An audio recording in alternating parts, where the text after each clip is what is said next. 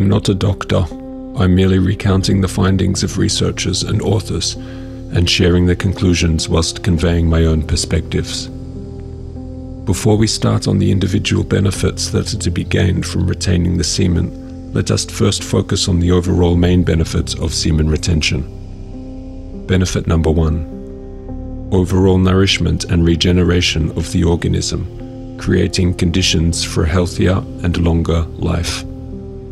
If we consider biology's soma theory principle that reproductive activity accelerates the aging process and consider the physiological value of the constituents found within the semen, it appears, at least from my own perspective, more than reasonable to assume the value of retaining semen within the body rather than the expulsion of it.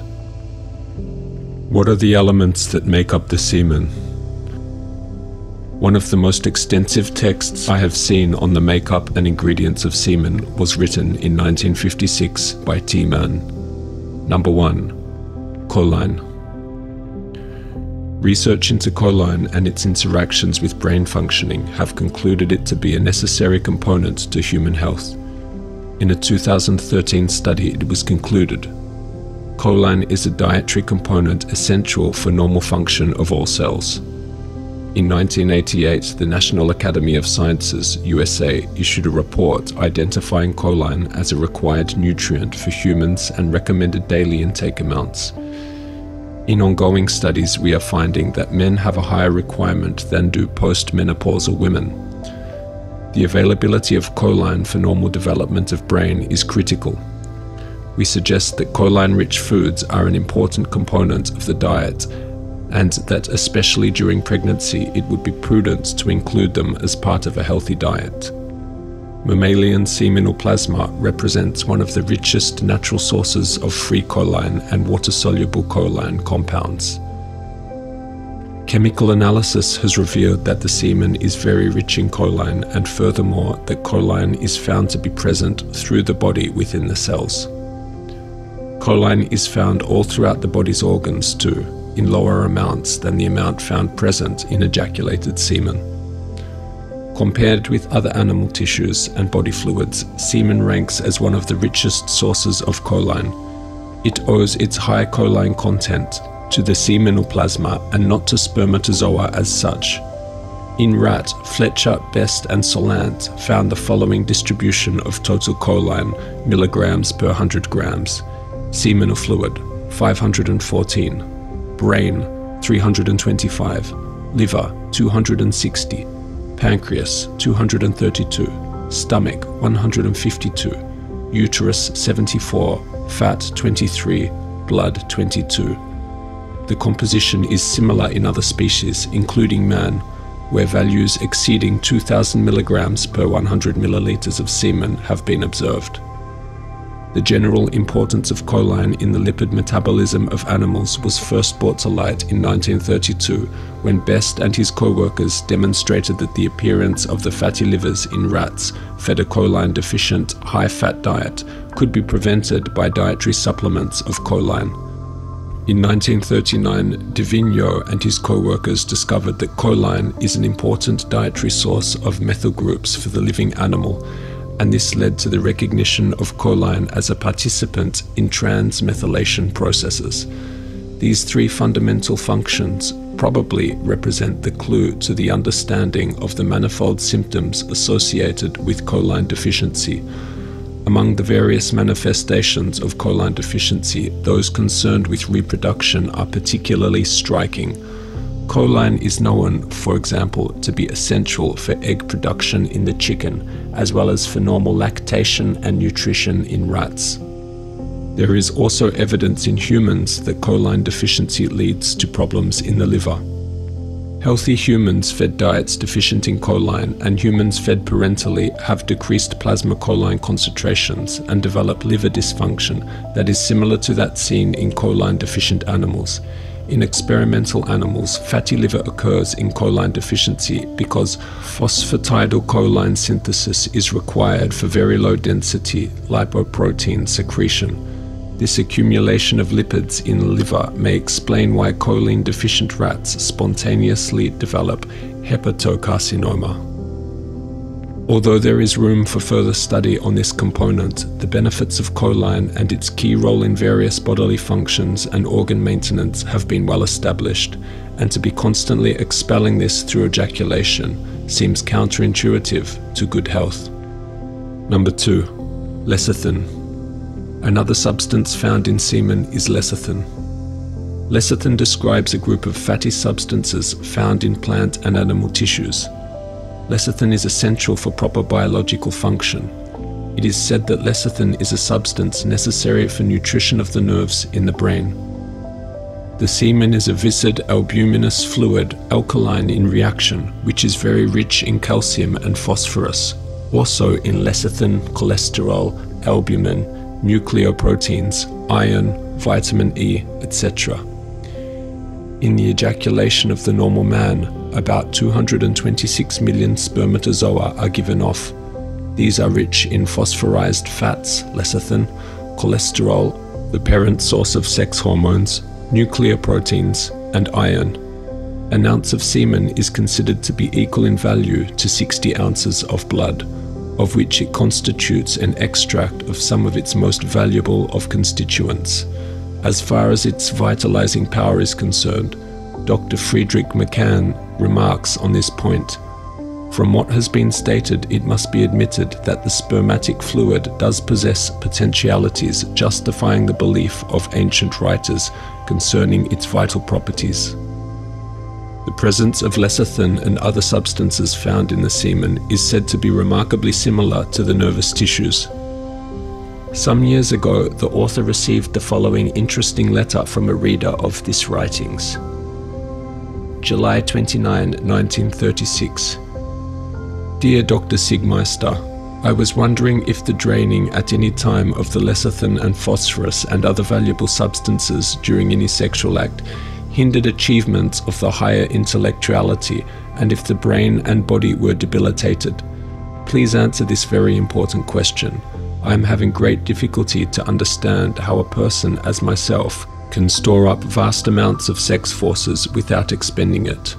To make a long story short, I do not understand the very function of the sexual apparatus. Please send me any literature that you have on hand concerning this matter, and I will greatly appreciate it. Also, refer me to some excellent books which will cover this subject in full. I beg of you, do not neglect answering any questions asked in this letter. Thank you. To this letter, he made the following reply Dear Mr. L., you ask whether the draining from the body of lecithin and phosphorus through the sexual act will hinder the highest intellectual achievement and debilitate body and brain.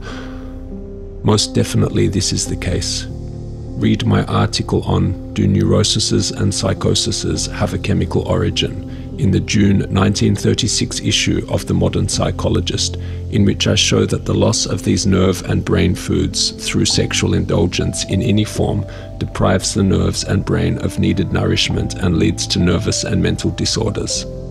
According to this point of view, neurasthenia may be considered as representing a condition of phosphorus deficiency, or rather lecithin deficiency, for lecithin is the form in which phosphorus is present in the myelin sheaths of the nerves, the nerve oil whose burning keeps the fires of nerve vitality burning. Since lecithin is a prominent constituent of the semen, we can understand why excessive loss of semen can cause nerve starvation and all the symptoms of neurasthenia. When the lack of lecithin and organic phosphorus is more serious, the brain itself suffers lecithin deficiency and becomes disturbed in its functioning, just as any other starved organ is when deprived of the elements it requires for its normal nutrition and functioning. Number 3. Spermine and spermidine. Spermidine is a polyamine, meaning it has two or more primary amino groups. It is naturally occurring and is widely encountered in ribosomes and living tissues. It plays a critical role in cell function and survival. Spermidine occurs naturally in all cells throughout the body and regulates vital cellular functions such as protein synthesis as well as cell proliferation and differentiation. When human semen had stood a little while, some three sided bodies were seen in it. terminating at either end in a point. Some were of the length of the smallest grain of sand, and some were a little bigger, as in Fig A. They were further as bright and clear as if they had been crystals. Thus, in a letter of November 1677 addressed to the Royal Society, Antony van Leeuwenhoek reported the discovery of the crystalline substances in semen which later became known as spermine. Dudley, Rosenheim, and Starling also succeeded in the isolation of spermidine. So far as spermine in human semen is concerned, there can be little doubt that its high concentration, which is of the order of 50 to 250 milligrams per 100 milliliters, is due chiefly to the prostatic secretion. In 2009, a research paper on spermidine found that administration of spermine, a polyamine, whose concentration declines during aging, extends lifespan in yeast, flies, worms, and in human immune cells. Spermidine prevents early oxidative stress and necrotic cell death and increases the expression of autophagy genes by inhibiting histone acetyltransferase action on histone H3. In a study in 2017 on spermidine, it was concluded that spermidine prolongs lifespan and prevents liver fibrosis and hepatocellular carcinoma. Number 4. Zinc. Zinc is a mineral that is found in particular abundance within the semen and prostate.